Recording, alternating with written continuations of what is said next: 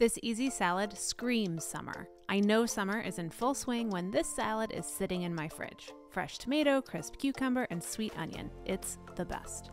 Start with chopped onion. Since we add it raw, we like using sweet onions like Vidalia or Walla Walla onion. Then chop up one cucumber. This is a thin skinned, seedless cucumber, so I don't peel it.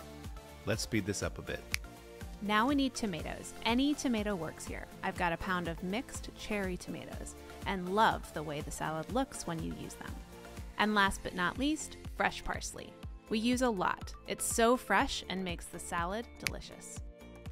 The dressing is one of our go tos. Start with a teaspoon of Dijon mustard, then add 2 tablespoons of vinegar, 2 tablespoons of olive oil, and season with salt and pepper. If you like a little sweetness, add a bit of honey or maple syrup. Now toss in the dressing and enjoy. Seriously, this salad is perfect served by itself, on top of other salads, and even as a salsa. We love it.